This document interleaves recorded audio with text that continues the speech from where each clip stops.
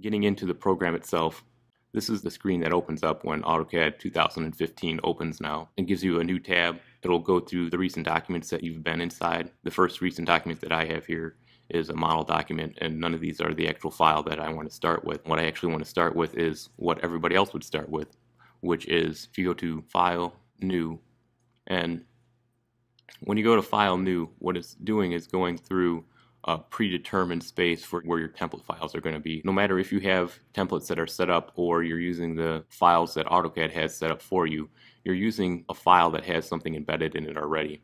And these are what are called template files. And they're designated with a DWT at the end of it. The template file location is at the end of here. You'll see it's in your user administrator, app data, all the way here to template. And you can change that. So if you were to create your own templates, you would want to either add them here or more likely if you're a firm you'd have this on a network drive somewhere and you would pull off your template files from that file. Getting into what AutoCAD gives you here, there's two templates that you really need to be aware of. So there's the ACAD one here that's just simply ACAD and there's one down here is called ACAD ISO. The difference between these files is very simply the ACAD is set up so that everything is going to be in inches or an imperial scale, and the ACAD ISO template is everything set up for a metric scale. I'll get into that a little bit right now.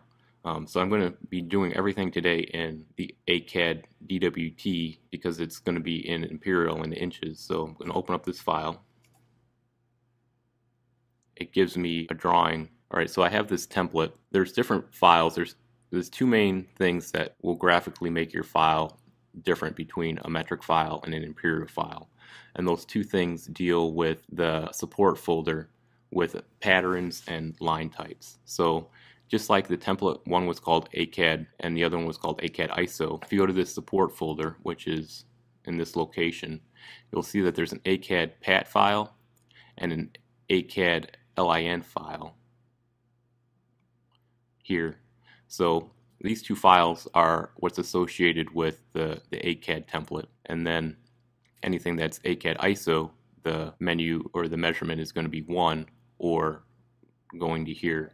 So just to give you a visual so you can connect what the difference is, all these files are are different coding to say, all right, I'm going to lift up the pen at a certain distance and put the pen down a certain distance. So it's basically a scale thing. So this one is all set up for inches. So you can see that it will go half an inch and then it'll be down for a quarter of an inch and half an inch up. If you were to convert that and you were using millimeters, it would be much smaller because inches are bigger than millimeters. So they had to create a separate file for that, and that's what they did for the ACAD ISO line and you'll see that these are much bigger now to make the adjustment for the size of the line. So in the end, when you print it out, it will be the same size, but since the units that you're drawing in aren't the same, that's why they have to create separate files. And you'll see that's the same as well for the pattern files. Hopefully that gives you some understanding of what's going on with these different line and pattern files. So just to make sure that it's set up right, I'm going to type in units and units is going to open up a dialog window here. If this is an architectural file for using inches, typically architects like to use the architectural style and they want to use inches and an angle. I like to use a little more precise of an angle than just no decimal places. So I usually use two and then the inches is set up correctly and I'll just hit mm-hmm. OK.